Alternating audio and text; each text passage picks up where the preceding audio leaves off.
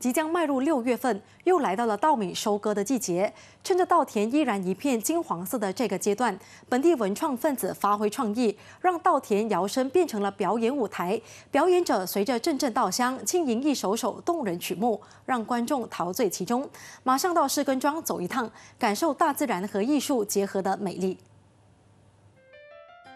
广阔无边的稻田，加上蓝天白云，这正是近期国人的热门旅游胜地士耕庄。本地文创分子被绝美景色深深吸引，发挥创意，将稻田改造成为舞台，让本地艺人和艺术团体在大自然的舞台上表演，把艺术和大自然结合在一起。士耕庄是鱼米之乡，它结合了海还有稻田这两个元素，所以我们想说把这个概念呢结合艺文活动来推广乡镇的美好，想把参与者呢带到户外，感受户外的感觉。就是说，其实美好这感觉呢不一定需要花大很大笔的金钱去感受，小小的金钱呢也可以感受到整个田园的美好。美丽生活节一连两天在市耕庄举办，涵盖黄昏稻田、餐桌以及音乐会，让民众坐在稻田旁，在清风稻香的伴随下品尝稻地佳肴，也让歌手们以嗓子为大家揭开鱼米之乡的万种风情、别具风味。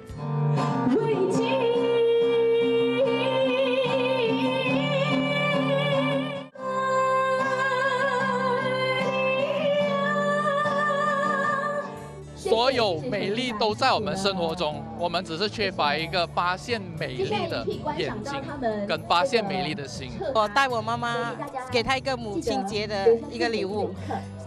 围绕着我们的都是爱，都是很美丽。除了大自然，所有的人都是很温情、很感动。美丽生活节在千人的见证下打响头炮，主办单位希望接下来可以将活动推广至全国，发掘国内更多美丽迷人的地方。ITV 七综合报道。